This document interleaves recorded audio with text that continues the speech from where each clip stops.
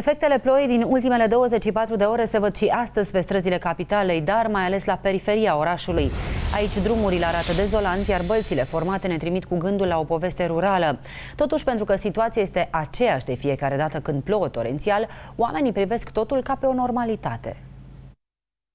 Deși pare greu de crezut, așa arată un drum în anul 2017 la doar un pas de capitală. Oamenii de aici spun că povestea este asemănătoare la fiecare ploaie mai puternică, iar din cauza faptului că drumul este neasfaltat, cizmele de cauciuc au devenit un accesoriu aproape indispensabil. Suntem în Popeșle Ordene, oraș al județului Ilfov, aflat în sud-estul municipiului București. Aici s-au mutat toți cei care au vrut să fugă de agitația orașului. Drumurile de aici lasă însă mult de dorit. Să strângea apa, pe și astea nu va ajunge la seară. Erau și vin băieții cu mașinile cu să tragă apă, dar degeaba.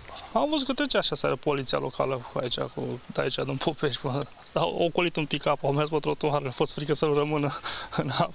Că am ieșit seara pe la 10 jumate și da, vă dau și de număr, că mă eram deja cu apa până aproape de genunchi. Și totul după o simplă ploaie de vară. Așa seara și când a plouat în fiecare zi acolo, trece aproape de genunchi, cam așa e. Strada nu se mai vede. Asta e frumos. Ne trebuie bărcuțe. Asta iarnă nu ieșea nimeni de aici. A încercat vecinul să iasă, dar nu. Asta e. Ce să facem? Trecem de Popești la Ordeni și mergem în București.